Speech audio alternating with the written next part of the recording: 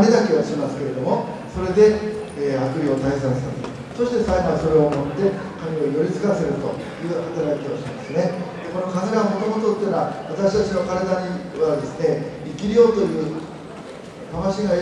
られてるんですが弱くなると病気になったら怪我をするんでこのようにですね年に12回神を呼び招いてはその神を私たちの体に分け与え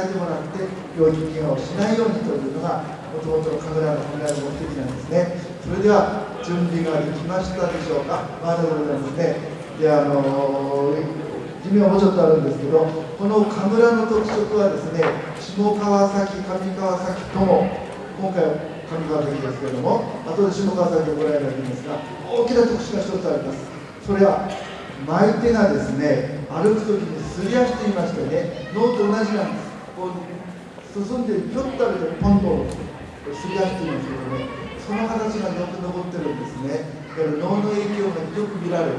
大変気品のあるね前になっております。そこがこのあの神楽の特徴ですね。でここからは先ほどご覧いただいた大平の三島神社あるいはですね今中断してしまったんですが下川崎のですあ失礼しました塩沢のですね神社にも昔教えたということでねこの地方の中心的な役割を果たされた神社ですね。それじゃあ準備ができました。八幡さんは自ら出てきてまいります。弓八幡をご覧ください。